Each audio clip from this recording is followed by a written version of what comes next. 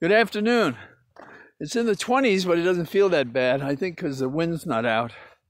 And uh, it seems to me that the same stories repeat themselves, but often with distinctions that make things worse. For example, we all want to keep out of the hospital, but we see wherever we go people without masks, particularly men, because they're never going to get it. And uh, we have people who have gotten double vaxxed but refuse the booster.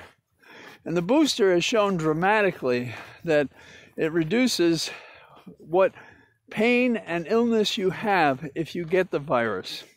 So people are not doing that. They're not getting the booster. Uh, they're tired of actually protecting and defending themselves and strangers, including you and I. And how many people is that? 86 million people. That's what we're talking about. And it doesn't help that a federal judge in Texas has blocked the program by Biden to mandate that people take certain steps, including being vaccinated and or uh, taking a test to know that they're not infected. Uh, you have to say to yourselves, how can you blame Biden for failing to eliminate a series of infections that are permitted by the lax regimen, politicians on the right, particularly in the Republican Party and across this land, and people at Fox are telling people, nah, you don't have to do that. And there was a, a, a story I put up about a Czech woman, an actress, and uh, her husband and child got sick, and she said, ah, I'm going to take it too. Bring it on. Well, she's dead.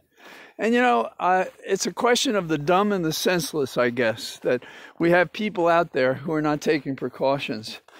And the last note I have, if my battery doesn't run out in this cold weather, is that Rudy Giuliani uh, appears to be, of course, in the middle of, uh, of things. And the search of his home, which was assigned to a special master. She's finished her work finally and given over that material that she says is not privileged. Now, Barbara Jones, I know from many years ago when I was in the U.S. Attorney's Office.